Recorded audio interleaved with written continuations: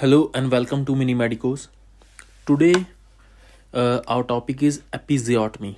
So, what is episiotomy? It is a surgical incision that we give on perineum and posterior vaginal wall during the second stage of labor. So, why we are giving this uh, incision, how we give it, and how the wound that is created by episiotomy is um, stitched we will discuss all these things in the upcoming slides. So what are the objectives objectives of episiotomy giving episiotomy? So what is it mean? Why we are actually giving episiotomy? Uh, so first one is to enlarge the vaginal introitus so that the passage through which the baby is going to pass is can be enlarged to facilitate easy and safe delivery of the fetus. Second one is to minimize overstretching and rupture of the perineal muscle and fascia. So if the uh, vagina or the birth canal is narrow and the baby is big it will stretch the wall wall of vaginal introitus and cause its damage. So to reduce the stress and strain on the fetal head, episiotomy is given. What are the indications for episiotomy? So, various indication for episiotomy are first one is inelastic or rigid perineum of the mother, anticipating perineal tear. So, when the uh, possibility of perineal tear are present, we give episiotomy in case of operative delivery previous perineal surgery. If the mother have underwent any previous perineal surgery that lead to scar on the perineum there are more chances of uh, damage or tear to the perineum that's uh, so that we give episiotomy there also. Uh, uh mostly in primary Primary, primary, the the female who is going to be mother for the first time, we prefer episiotomy. What are the common indications? Threatened perineal injury in primary gravida, primary gravida, uh, G1 who is going to be mother for the first time. Uh, when there is re- when rigid perineum is present, or if somehow we have to de- do forceps forceps delivery, or if the presentation is breech presentation, or if there is occipito-posterior or face delivery is present. We give episiotomy in all these conditions. Uh, what is the timing of episiotomy? So when we we have to give episiotomy or, or in what stage of labor we have to give episiotomy so we have to see when the bulging perineum is bulging thin during the contraction just prior to the crowning. Crowning is what? When the head of the baby just come out. That is crowning. So when the perineum is bulged thinned out so uh, and crowning is present we give episiotomy. During forceps delivery it is made after the application of blades. We introduce the blades inside uh, the vagina and put them around the head of the baby and then we give episiotomy. Okay uh, if done uh, uh, so what uh, will happen if we done episiotomy early? Or if we done episiotomy when the perineum is not thinned out or crowning uh, has not done. So excessive blood loss will occur. Okay? If it, we done it late what it will it fail to prevent the invisible laceration of the perineal body. So the purpose is not fulfilled if we are late in giving episiotomy. So in this image you can see two episiotomy two techniques of episiotomy. One is mid midline episiotomy when the incision is given the midline.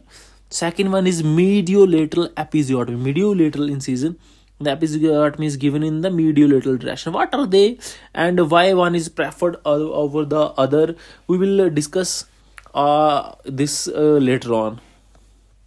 What are the advantages of giving episiotomy what are the advantages to the mother?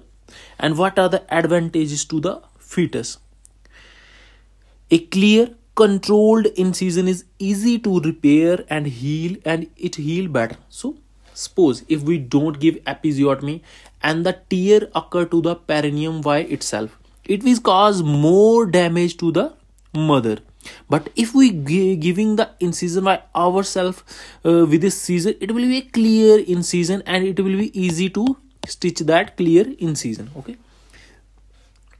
Second one is episiotomy reduce the duration of second stage of labor. Third one it reduce the trauma to the muscles. The perineal muscle. What are the benefits uh, to the fetus it minimize intracranial injuries. How? Because it widens the birth canal or the passage through through which the baby have to pass. So it minimize the intracranial injuries or chances of intracranial injuries to the baby. Now what are the types of episiotomy? First one is mediolateral episiotomy mediolateral episiotomy that we in previous image this image see here. What is this is mediolateral this is the birth canal. So see where we are giving episiotomy bone this is mediolateral episiotomy. And this is median episiotomy okay? Mediolateral the incision is made downward and outward from the midpoint of fourchette. Either to the right or to the left. It is directly directed diagonally in the straight line about 2 5 centimeter away from the anus. Second one is median episiotomy. In this case episiotomy is given in the median plane. Third one is lateral episiotomy. Fourth one is j shaped episiotomy.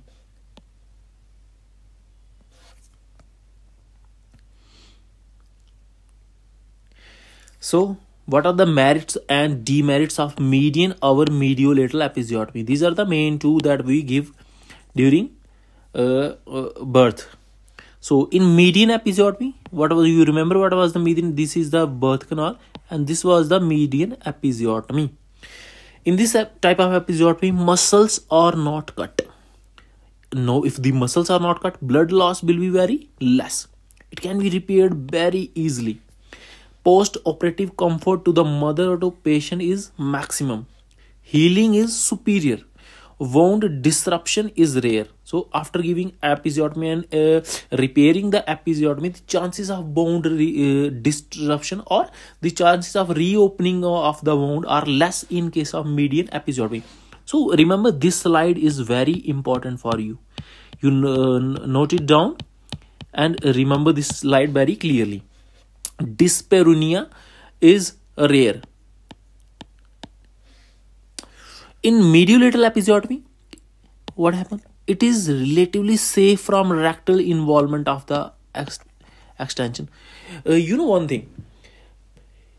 Median episiotomy have less blood loss, less damage, and is safer. But we prefer mediolateral episiotomy.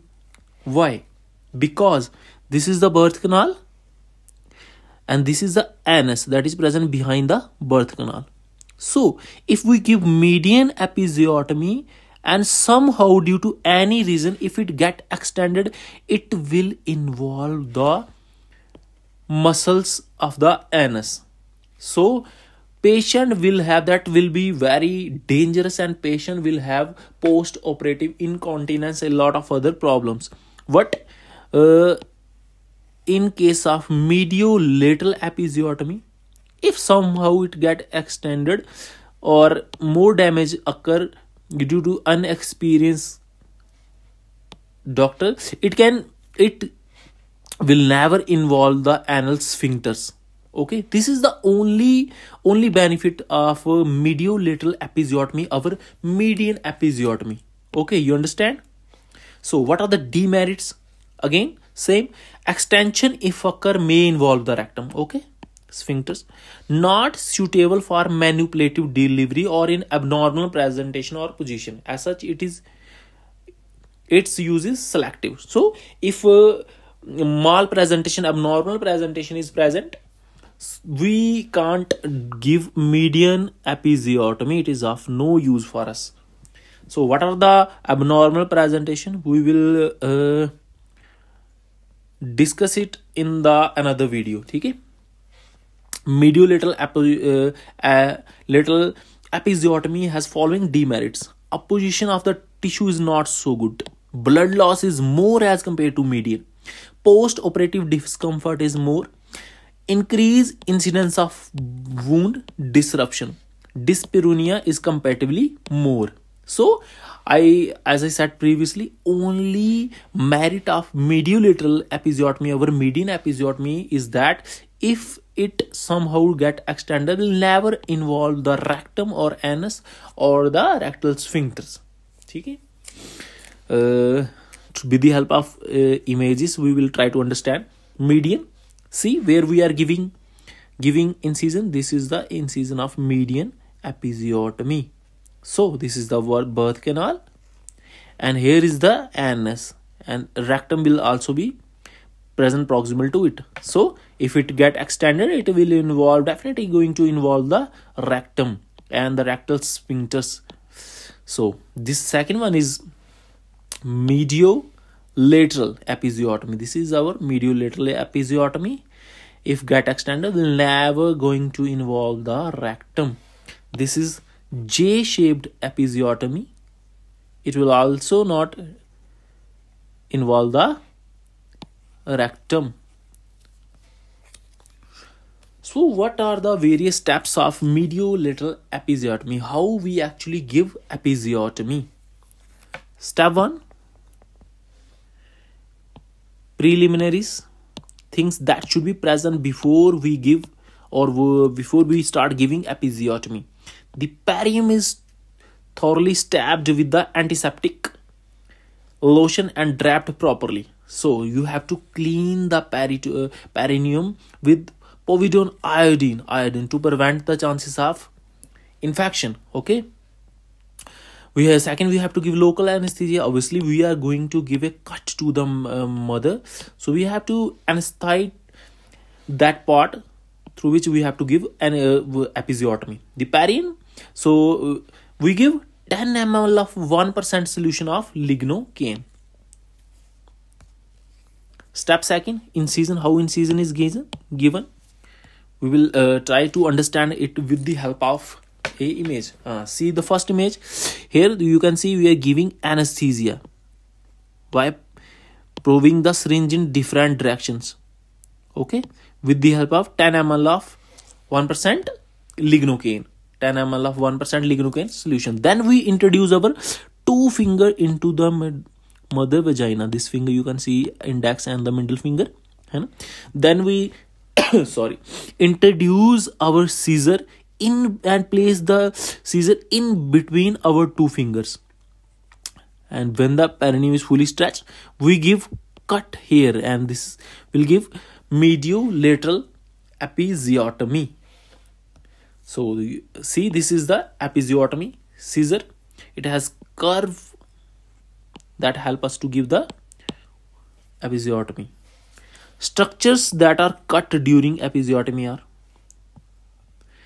posterior vaginal wall first superficial and the deep transverse perineal muscle bulbospongiosus muscle and the part of levator ani other fascia that is covering these muscles is also cut. Transverse perineal branches of pudendal vessel and nerves are cut. These vessels lead to the bleeding during episiotomy. Subcutaneous tissue and skin. So, why these structure are important? Because we have to stitch them in layers during the closure of episiotomy wound. So, these slides are now are not much use to us. So repair repair steps. How we are going to repair the episiotomy wound? So repair is done in lithotomy position. A good light source should be present. We clean the wound with antiseptic solution. Then blood clots are removed from the vagina and the wound area. Then the patient is draped properly. Draped means cleaned with the help of uh, povidone iodine or any other uh, antiseptic solution. If the uh, repair field is obscured by oozing of blood from the uh, from our vessels a vagina pack must be inserted and is placed high up. Repair. So repair. This slide is also very important. Pay attention here repair is actually done in three layers. A lot of times uh, if you uh, attend the labor room you will see few people are stitching the episiotomy wound in single layer. That is wrong. Actually we have to stitch it in three layers. Following three layers are stitched. The principle to be followed are perfect hemostasis should be achieved. Otherwise it will lead to hematoma formation. To obliterate the dead spaces that can accumulate the blood. We have to give sutures without tension. So that uh, so that when the wound get healed it will not lead to dirty scarring. Layers the repair is to be done in the following order. First we have to stitch vaginal mucosa and submucosal tissue okay? The first layer that you have to stitch is vaginal mucosa. You stitch vaginal mucosa and submucosa tissue. Then second layer we have to stitch is the muscle perineal muscles okay? Superficial D's, deep perineal muscle and bulbospongiosus then third and at the last you have to stitch the skin and subcutaneous tissue okay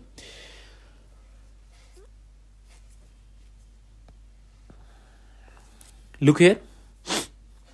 Uh, in the step 1 we stitch what? Mucosa and submucosa of the vagina. In the second step we are stitching the muscle of the perineum muscles of the perineum. And then at last we are stitching the skin and subcutaneous tissue. Look how clean the wound is. Repair steps. Vaginal mucosa is sutured first First suture is placed just at or above the apex of tear.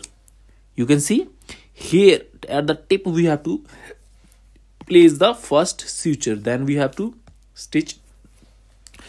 Uh, thereafter, the vaginal wall are opposed by interrupted sutures. This is very important. Sutures in all three layers are different. In vaginal mucosa and submucosa, we give interrupted sutures with polyglycolic acidic suture. Catgut zero chromic suture are used. Suture uh, should include the deep tissue to obliterate that any dead space that can lead to accumulation of blood if left unsutured. Continuous suture may cause puckering and shortening of the posterior vaginal wall.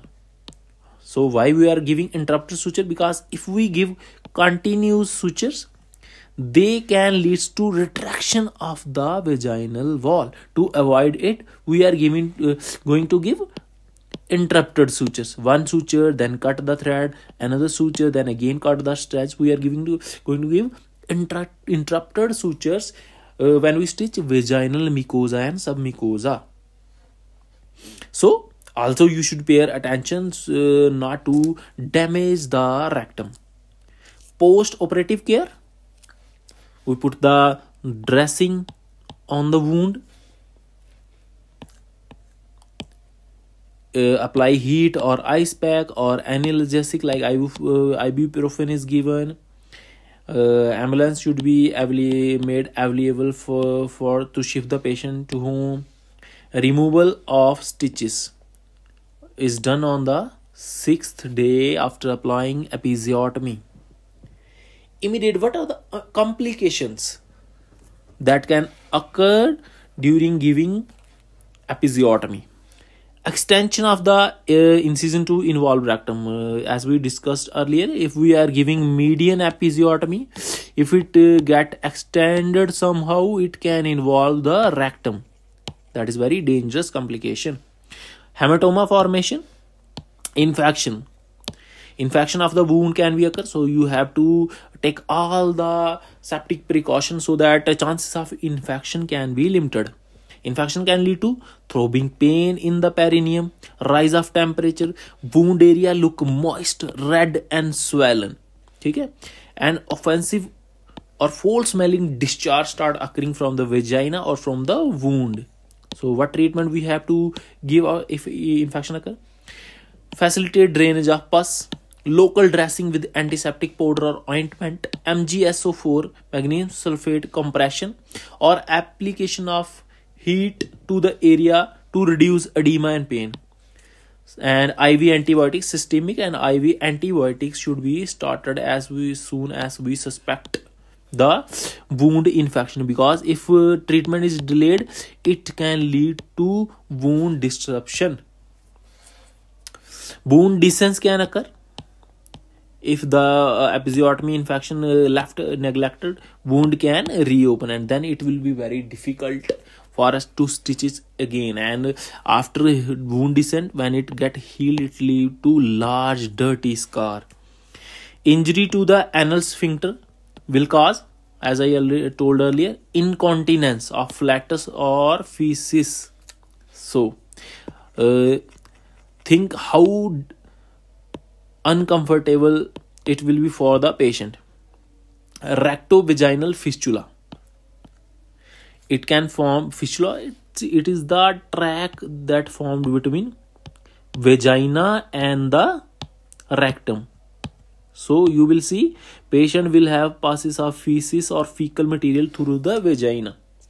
Necrotizing fasciitis is a rare and very dangerous complication of episiotomy uh, it occur in the women who are diabetic or who are immunocompromised. Remote complications rare complication or uh, the long term complication dyspareunia. Dyspareunia painful intercourse. Chances of perineal laceration in subsequent labor. So episiotomy is a wound and when the wound get healed it leads to scar formation and scar formation and scar will never have strength of normal tissue. So in the next pregnancy it can lead to laceration of that wound. Scar endometriosis. So this is important term. It is the presence of endometrial tissue